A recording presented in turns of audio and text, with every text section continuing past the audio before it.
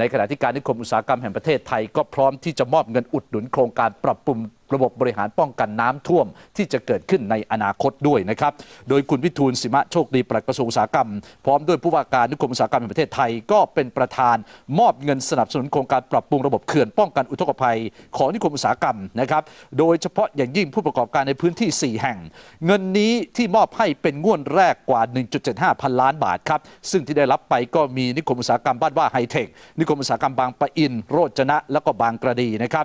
นอกจากนี้มีพื้นที่อุตสาหกรรมนะครับที่ได้รับอนุมัติอุดหนุนอีก 2 แห่งก็คือนวนคร ซึ่งทำการก่อสร้างแล้วเสร็จรอแต่เพียงการดำเนินด้านเอกสารเท่านั้น ส่วนสหรัฐนคร คือพื้นที่อุตสาหกรรมเพียงแห่งเดียวที่อยู่ระหว่างการเสนอแผนโครงการก่อสร้างนะครับโดยวงเงิน 2 ใน 3 ส่วนของทั้ง 6 แห่ง ได้รับการอุดหนุนจากรัฐบาลเป็นมูลค่ากว่า